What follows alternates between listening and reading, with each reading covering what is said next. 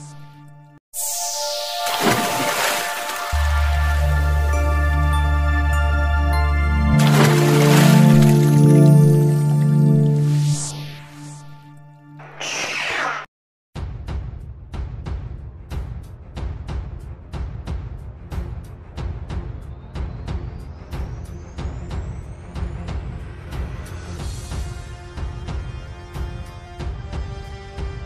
Momen seorang ibu-ibu menyambangi Ridwan Kamil.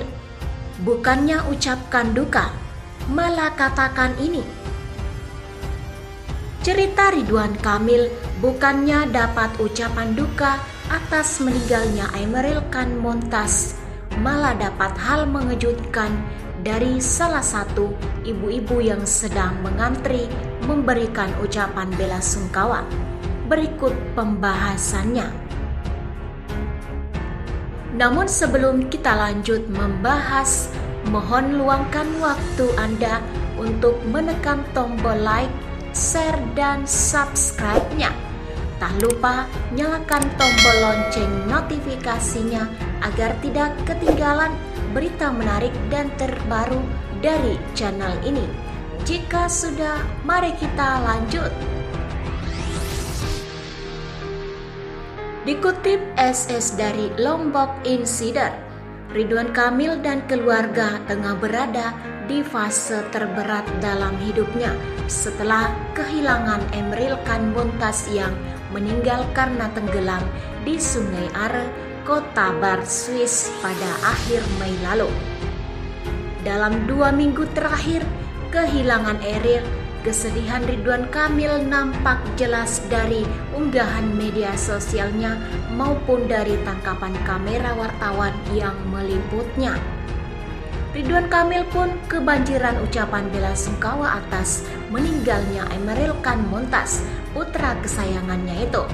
Baik yang mengucapkan lewat media sosial maupun yang datang langsung ke rumah duka di Gedung Pakuan Bandung.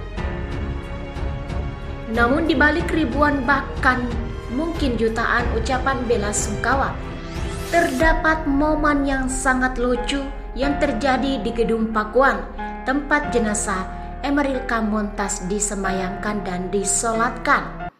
Momen lucu itu diceritakan sendiri oleh Ridwan Kamil lewat media sosial Instagramnya pada Selasa 14 Juni 2022. Pria yang akrab disapa Kang Emil tersebut menceritakan bahwa pada saat Gedung Pakuan menerima ucapan duka cita, antrian warga memanjang dan rata-rata menangis. Saat di Pakuan menerima ucapan duka, terlihat warga mengantri cukup panjang dan rata-rata menangis, ungkapnya. Kemudian sampailah momen di mana seorang ibu-ibu bergamis hitam menangis dan berucap dengan terbata-bata kepada Ridwan Kamil. Namun bukannya menyampaikan ucapan bela sungkawa, warga tersebut malah ucapkan selamat Idul Fitri layaknya momen lebaran.